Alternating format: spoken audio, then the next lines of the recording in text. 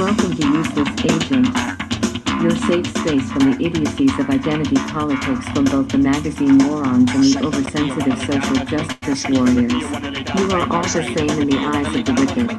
And we see and we see And you. stay cheesy. Here we go. Welcome to Useless Agent, your safe space from the idiocies of identity politics from both the magazine morons and the oversensitive social justice warriors.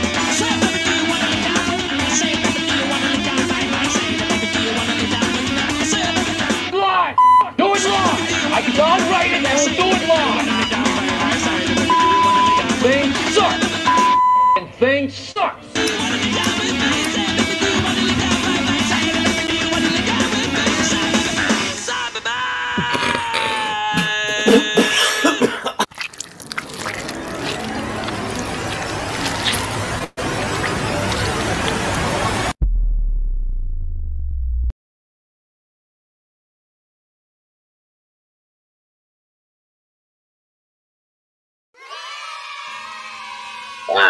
How's it going? Hello, my beautiful starflies. All right. Today is the 13th of the month of January. So, um, as you see, I kind of added a little bit more of uh, the ganja since, uh, well, basically, I've been told that I can't talk about uh, weed in the topics. So, apparently, are you so stupid? You're not allowed to talk about weed. It's totally cool to talk about beer and vodka and you know that stuff that kills you and and poisons your body. So I can talk about that all I want. Drink this, drive that, fuck you. You know, it's like how George Carlin used to say it. And it's a perfect way to to represent the Super Bowl. You know, a Super Bowl commercial every fucking day we're told don't drink and drive and then you watch any football game and you watch the commercials and it'll be drink this drive that fuck you. And so uh yeah weed gets such a bad rap that um you know we live in a time now where things are finally getting a little bit more sensible at least in that direction. Everything else is going to shit but uh, anyway uh, the last few episodes have been hitting like an all-time low. I don't I don't know what the fuck is with you guys. Why you guys don't like whatever you guys? Why you guys don't like whatever I'm putting out? Uh, actually, the conversations are better than before. They're much more articulate. And honestly, I, I've watched my competition and I don't get it. Um, but if you'd rather watch a guy play Call of Duty for four hours than you know some actual comedy. That's that's up to you, bro. Um, or sis, I do this shit for my own fucking sanity. I just don't see why what's trending is trending. Um, I looked it up today. Uh, what most people do when they do podcasts and live streams they go and you Google what is trending this week or what is trending this month.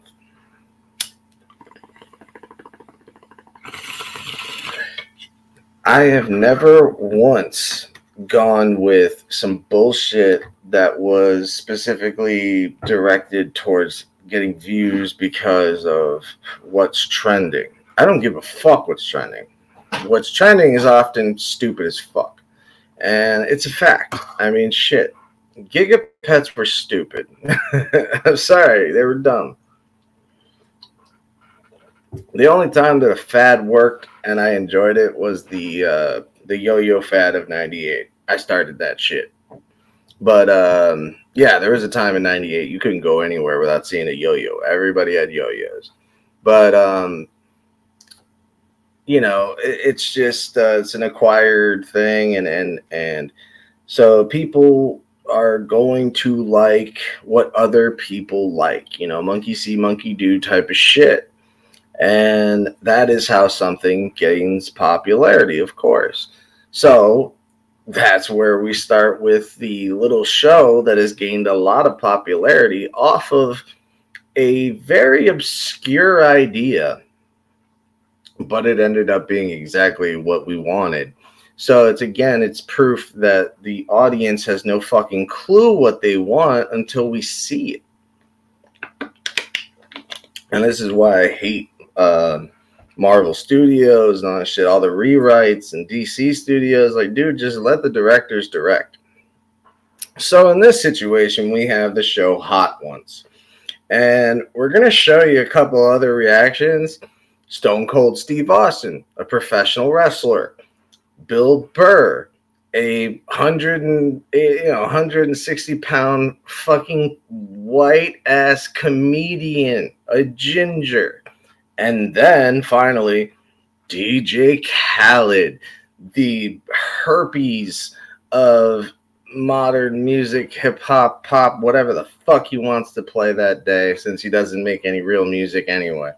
So the fact that um, the show is entirely based on you eat hot wings, I eat hot wings, and we keep going and eating the hotter the better while we have an interview.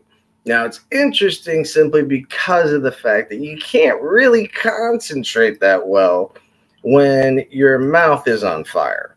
So you will probably end up saying shit a little funny. You'll be a little bit more on edge it changes the dynamic itself of said interview. So, um, you know, let's just look at uh, the last few minutes of the conversation with Stone Cold Steve Austin while enjoying Hot One. And again, do this for the people for season nine. Boy, that ain't a sales pitch. I ain't never heard one. We got, we got to do it for we the gotta people. do it. We're in it together. We're in this together. Oh, Jesus. You should have been a wrestling promoter. I would have loved to do that. Uh, now, why did he say that? Um, well, because uh, you convinced him to do something. So um, when he said you should be a wrestling promoter, what he was saying is like, you know, well, that's a good way to convince me. Now, Stone Cold, of course, is a very critical thinker. He's not gonna fucking do what you tell him to, but he just you can tell he enjoyed he he respected the wording of that. Now, you are given the option of water, milk, and whatever your drink of choice is. And so, for me personally, I don't think beer helps with the hot wings. Like the, the carbonation only stimulates the tongue more, so it just it's just terrible. I, you you need something like milk. And the the funny thing is that you know when you're in a beer and wing competition, uh, I came in in fifth place, uh, not even top three, but it was a lot of fun and you know you get a t-shirt out of it. But i remember having the worst stomach ache the next day simply because the milk and alcohol do not mix. And yet you know you got the dude you know the great drink of the white russian. My damn nose is running and i haven't got it close to my mouth yet. How is it? Oh man. My Delicious. lungs are burning. How'd i do it Got to.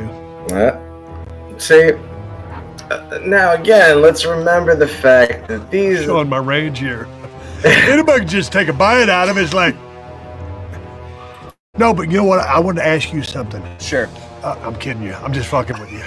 You see how nervous he actually is? That's the heat. And let's let's also remember the fact that Stone Cold Steve Austin never had anybody is, come out here and is a is a wrestler. All right, now we tried discussing this before, and of course, wrestling is a circus. It's an esoteric topic. I understand that. Uh, not everyone likes it, but uh, the point is that Stone Cold Steve Austin is also a very well respected man and a very respectful man. So not only is he going to take this like a man, but he, he's from a, a job where if you break a bone or if you snap your neck like he did, you still have to finish the match. Now, back in the day, when you saw this, if a referee put up the X, that means that the wrestler might be dead or severely injured. So seeing an X by a ref is a very rare occasion. And so uh, that's what happened when we saw the death of Owen Hart. Um, so watching Stone Cold Steve Austin, you can see he is an actual normal guy. He's not being overly tough, but he is trying to salvage some manhood while burning profusely in the mouth. Heart rate. You're the first one. Yeah, I'm Nine unique. seasons deep, and you're the Yeah, first I'm one. unique. And it is a good Some way to have a conversation with somebody. I like to say unique. It sounds better. So one of my favorite things about listening to See, the Steve Austin like, show is the fact that they try to have a conversation is hilarious because like I wouldn't be able to con convert uh conversate. I wouldn't be able to converse with a clear mind while my mouth is on fucking fire. You know, uh in spots like that, you normally tell people, dude, just shut the fuck up, just shut the fuck up. Let me get something to drink. Hang on a second. So it's a great way to do it. So um yeah, let's see Bill Burr do the same thing. And then finally, let's get to the poser of the fucking show. All right, so now here's Bill Burr, another super white, uh, you know, guy, but very fucking cool. And again, just a normal dude, and he's gonna act like a normal dude. I gotta walk it off. Yeah, yeah. Go ahead. I gotta Take walk it off. Take Look a lap. at that. I Oh mean, my that's God. how we act when we burn. Dude. That's the hottest fucking thing I've ever ate. Now the fact that Hey, what's he- going on, everybody? For First We Feast, I'm Sean Evans, and you're watching So Hot the Ones. fact that he stops over there, you know, um, and and walks around to walk it off. This is just a normal reaction, right? Now, uh, Bill Burr, uh, heavy cursor, you know, he, he's a big uh, guy on cursing. He, he has some of the best uh, comedy I've ever heard, and yet he stays composed enough to still be himself and yet still be funny while he's burning. Now we're gonna show the fucking super fucking asshole that is DJ Khaled, the herpes of pop culture, the guy that just won't go away. And so, um, honestly, I really hope nothing bad happens to them. But when you see someone get something they did not deserve, you it's not jealousy. It is just bitterness because he didn't deserve anything. Now this man is the biggest fraud in all of music. The guy is a fucking joke. He is a basic bitch version of a like a syrian wannabe fat joe i like i don't even know who he's trying to be but whoever you trying to be, it ain't working, bro. Because A, you're not black. B, you're not hood. C, you're a fucking lame ass fucking DJ. You're not even a musician. DJs are not musicians, okay? I am a musician. You are a DJ. You press play. I work. So let's see just immediately how this show's gonna go. call a victory. This shit ain't no victory to me, my brother. What you call a victory, this shit ain't no victory to me, my brother. This shit ain't doing nothing but me but causing problems to me. Then what the fuck did you get on the show for? See, now this is where a man is gonna be a man. This is where you're gonna not even gonna say that. No, fuck that. This is where you're gonna show your true For First colors. Feast, I'm Sean Evans, and you're watching. the uh the truth of the matter is that you know there's a certain respect that all men all women grown-ups adults we should have a certain sort of decorum to the way that we behave. We are no longer five years old. We are no longer little crybaby bitches. But dj khaled has yet to learn this lesson. Now all I know about that motherfucker is he was a fucking nobody, a typical fucking radio, um, you know, air horn using fucking DJ. That annoying dumb shit. Oh, here it comes. Sorry, that was a big one. All right. So, when you see somebody react the way that he's reacting, A, he's making it seem like like he was begged to be on this show. You were given an email. You responded to the email or your your agent responded to the email, your press person, and they probably said, "Hey, you should go on this. it's going to help your brand out." And uh, you know, honestly, you ain't selling anything. You know, you don't make nothing. You're not. You don't have no Sean John. You don't have no Yeezy. You you know, you got these like vitamin water shit. I mean, you ain't Fifty Cent. So he's an all around poser, all around phony, and this only proves it. Like if you need if you had any doubt that this was a fake ass motherfucker that does not belong, it's the it's the way he handles himself right here. No self-respecting black man, white man, Hispanic, anyone from the street, nobody would respect this type of behavior. Nobody on the street. Have I experienced roadblocks, road bumps, um, shields, and people trying to stop the wind? Of course. The only difference with me is I'll rip the fucking door off, rip it off his hinges, and put the hinges in the fuckboy's hands. Right. So again, this is a guy that is like borderline sociopathic, self-obsessed motherfucker. he is the type of guy that will never use a sentence that doesn't have the word me, I, my, any kind of fucking self-obsessed conversation. It's all you're gonna get out of this guy. Now look at the, uh, you know, the, you should be talking about, you know, like some specifics. You know, uh, at 13, I had to fight this one dude. He was a lot fucking bigger than me, and I remember being terrified. But uh, you know, blah blah blah blah blah blah blah. Point is, you're telling a story about how you persevered in some shit. You know, dude was bigger than me. I was terrified, but it turned out that the guy tripped. Like, I mean, I could tell you a story like that, and it's actually true. And I didn't win the fight, but to everyone else, because the motherfucker tripped, everyone thought I won. And so I kind of just kicked him while he was down. Now, again, I'm a short dude, and this was a straight up, you know, fight that I wasn't going to win. I didn't even want to fight this motherfucker. And so, you know, am I going to say I'm a fucking champ here? No, I just got lucky as fuck. And I know this because I know who I am. And I, I ain't running from nobody.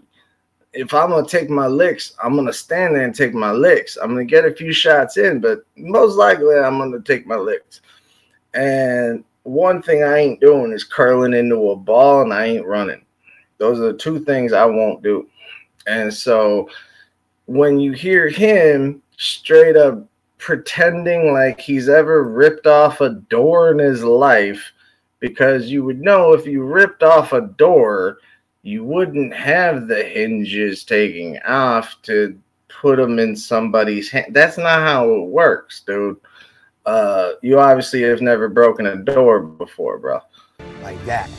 And then I go through and do what I gotta do. I never expect nobody to open the door to let me just go through. That's now, all you did. That's straight up all he's done his whole career. You know Everybody opened cool. the door for his ass. the door, you gotta see who's behind the door, because that's when they when it becomes a different type of hate. Well, I so, was with you for a while. What does that mean?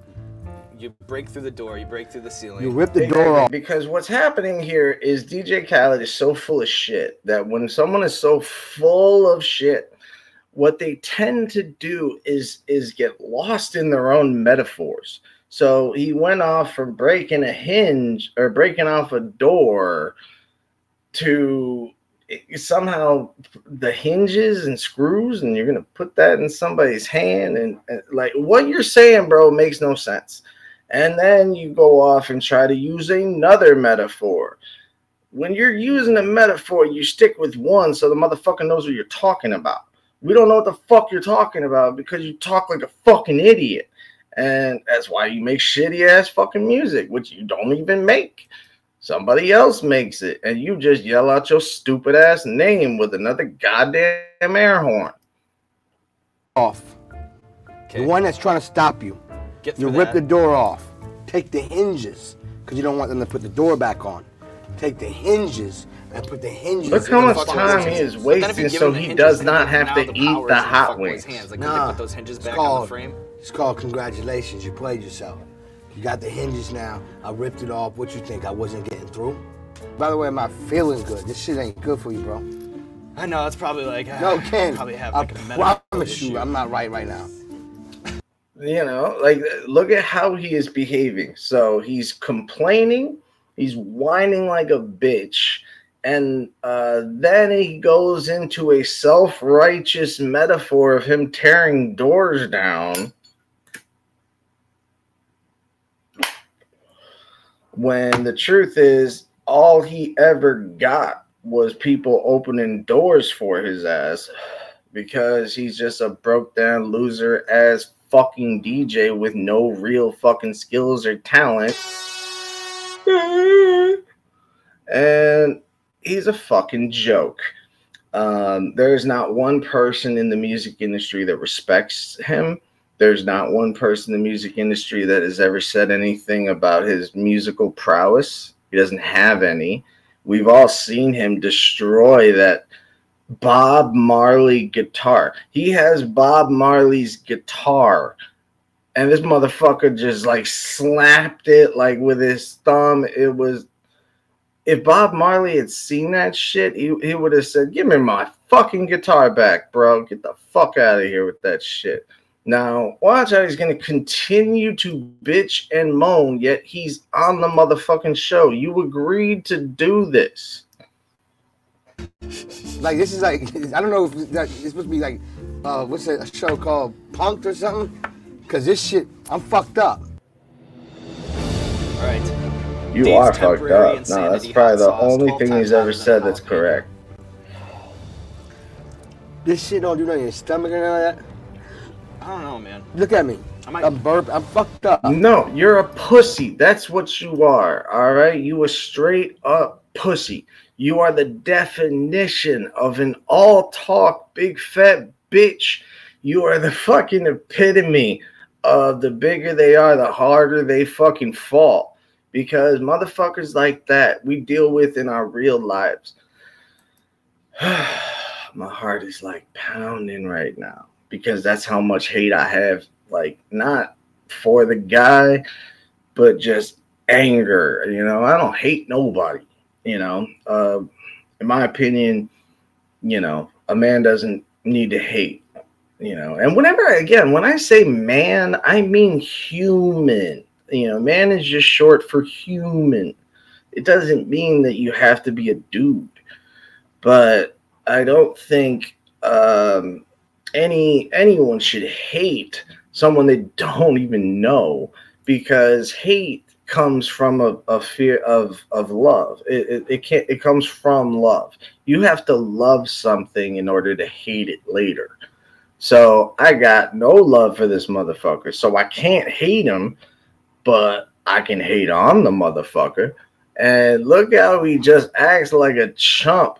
And because he's with a white dude that is very white he is acting like a bitch because he can be himself around white people because he knows he can be a little bitch. Had he done this shit and you had Tupac and Biggie and fucking 50 Cent just sitting there staring at his ass, I guarantee you he wouldn't be saying any of this shit. He would fucking just say that, oh no, I got a stomach ache, I'm sick from yesterday or some shit, get up and walk away because he wouldn't have the balls to sit there and whine like a little bitch around real motherfuckers. And I'm not even. This ain't no. This ain't me. acting. This is this is some real shit. Look at me, poker face. That's what I'm trying to tell you. You you. Are you at all impressed by this, or are you mm, just like? I'm, like, I'm oh definitely God, impressed if you use it for your advantage of survivor skills. see, he's not Yeah, impressed. what's this- what He- is this is what he's you a do to- this is a sociopath. dude to They're- do it. they're- Very disappointed. I'm just being uh, very disappointed because this is crazy. All right, number nine. Not Dave's temporary insanity, just full. So instead of, you know, being a man about it, saying, God damn, okay, damn, damn, man, this is some strong shit. I can't do it. I can't do it, bro. And then laugh and be a man about it. Nope. He is going to straight up bitch, moan, and cry the whole time. You're saying the girl loves me. Everything they don't have, I have. It's called jealousy, one's envy. It's called fuckboy. And that's exactly what you are. I'm, I'm going to throw you out right there because that is some straight up all talk barking ass bitch. Like, there is nothing on the street that is more disrespected than a fucking mark ass bitch. And that is the epitome of not a Marxist, but a mark. I mean, god damn, dude. All you do is cry about shit. And then you talk about how jealous everybody else is. So that means you spend all your time thinking about everyone else's opinion of you. That's why you won't give your fucking wife oral pleasure because you a damn bitch and you don't know how to eat that shit. And you know what? I guarantee you it's performance anxiety and fear. Because if you love it, then you will eat it. Right, I'm sorry that, that- there ain't no fucking. This ain't 1921 or fuck, not even a 20. Fuck that. This ain't 1812 where you know men don't do that and all that bullshit. You know that makes no goddamn sense. The whole thing about men not being able to go and eat, and yet a woman is expected to go down every time it's your birthday and shit, but you can't return the damn favor, even for your own enjoyment. Like shit, I'm selfish as hell, and and yet shit, pleasing you pleases me. So what it the whole point shows that he's all about himself and he hates himself as much as he loves himself and he clearly loves himself. And all that money is doing nothing but making him think that he's in the right. So he just grows more and more self-righteous. But that voice in the back of his head is always going to be there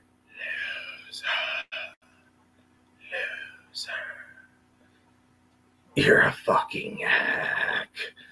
So, um, yeah, that's just another take on the uh, wonderful, fat, broke ass, fat Joe looking motherfucker dollar store version of every fucking Assyrian I've ever seen in Mather High School. Fuck you, you lame ass carp fucking cardboard cut out fucking mark ass trick bitch. Alright. Love y'all. y'all stay safe, stay free, stay yourselves, and I'll see you on the other side. Remember, stay away from pork and stay away from the motherfucking DJ Khaled because shit is bullshit and it's bad for you. Stay cheesy. Welcome to Useless Agent. Your safe space from the idiocies of identity politics from both the magazine morons and the oversensitive social justice warriors. You are all the same in the eyes of the wicked. And we see and we see And you. stay Here we go. Welcome to Useless Agent, your safe space from the idiocies of identity politics from both the magazine morons and the oversensitive social justice warriors.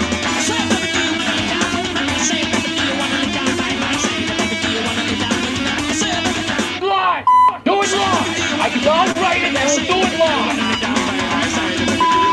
Things suck!